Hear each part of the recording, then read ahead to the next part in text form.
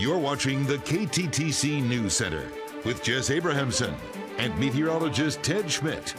This is KTTC News Center at noon.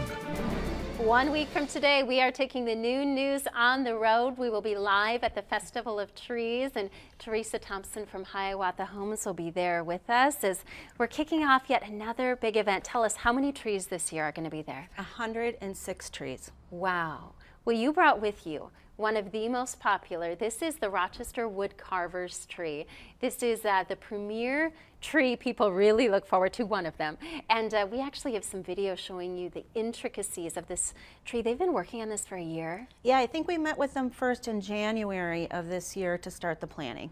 Unbelievable. Well, this is actually given away at the end of the Festival of Trees, but you can tell all of the love and hard work that has gone into it, and each tree is different. Oh, it's amazing. The different creative ideas, they're phenomenal every year. Okay. How many volunteers are we talking to pull this, this event off? About 900 volunteers.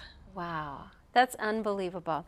Well, tell us why people look forward to the Festival of Trees so much. Well, I really think that it's a kickoff to their holiday.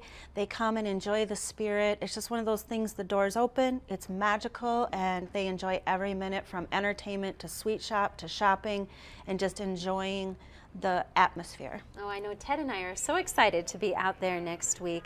And we should let people know it kicks off Wednesday and it is open on Thanksgiving. Yes, it sure is. So bring the family out and open through Sunday then. Yes, Sunday until 4. With different great events each day going on, and this is an important fundraiser for Hiawatha Homes of Rochester. Teresa, thank you so much for coming in to tell us all about the Festival of Trees, which opens to the public one week from today at the Mayo Civic Center. All the details at kttc.com slash links.